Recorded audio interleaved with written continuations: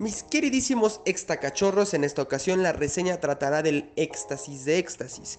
FIFA se queda corto, FIFA Street, nada más le falta lo que a este le sobra. Para ustedes el mejorado, grande, sucio, duro, venenoso, sabroso Mario Strikers.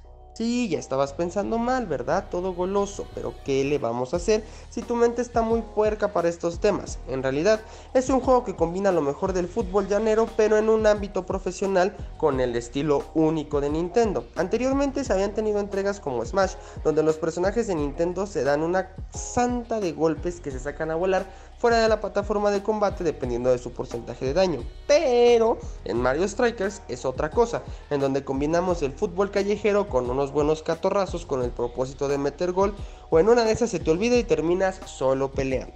Sus inicios se remontan al polémico y mítico GameCube, el cual recibe esta primera entrega, la cual tenía muchísima incertidumbre sobre su éxito y jugabilidad. Sin embargo, cuando juegas este videojuego la cabeza te explota y aparte la mente vuela de lo bien hecho que está, ya que combina la inocencia de un personaje de Nintendo y lo rudo del fútbol llanero de los barrios bajos de Tepito, de donde nació la leyenda de Cuauhtémoc Blanco. Una vez terminada la vida útil del Nintendo GameCube, sale una nueva entrega para el Nintendo Wii, pero bueno, en este caso, lamentablemente sus controles y algunas partes de jugabilidad fueron fuertemente criticados. Sin embargo, para esta nueva entrega, se podría decir que pulieron lo malo de la última entrega y agregaron lo bueno de la primera entrega, generando esta nueva versión de Mario Strikers para Nintendo Switch, el cual vamos a describirlo a continuación. Una de las principales características del juego es que aquí no hay árbitro. Y si lo hubiera, yo creo que lo sacarían a punta de reclamos y patadas del partido.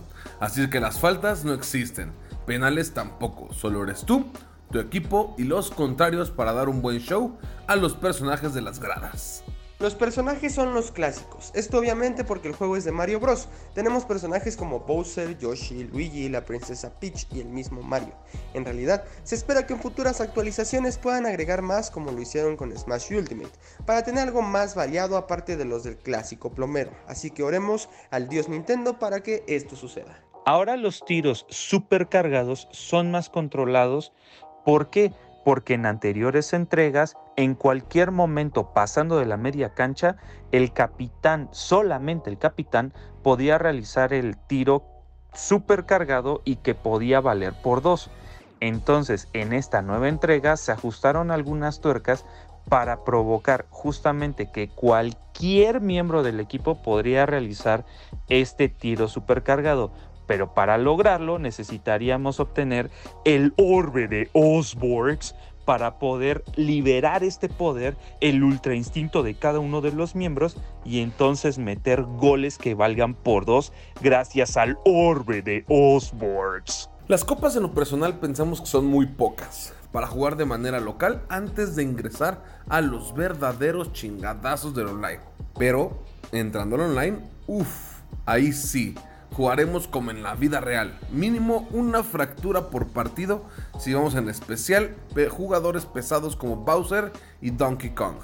Barridas, tacleadas, bombas, conchas, estrellas y bananas son permitidos en cada encuentro futbolero. Centros, globitos, asistencias, cargar el balón con la mano, electrocutar a tu rival, todo es permitido. Piquete de ojos y hasta más.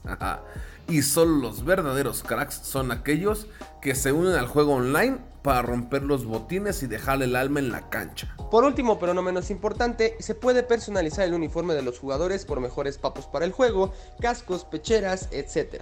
Pero cada una de estas actualizaciones es de cada personaje, por lo que deberás de ganar partidos con estos para poder conseguirlas. No es una tarea sencilla de obtener todos los aditamentos de cada personaje, así que para personalizarlo a tu gusto requerirás de jugar bastantes horas pero vale la pena. Este juego es algo muy característico de Nintendo que nos ayudará a pasar un buen rato, una excelente optativa de FIFA llena de personajes de la infancia y sin faltas, personalización y con las trampas del Mario Kart.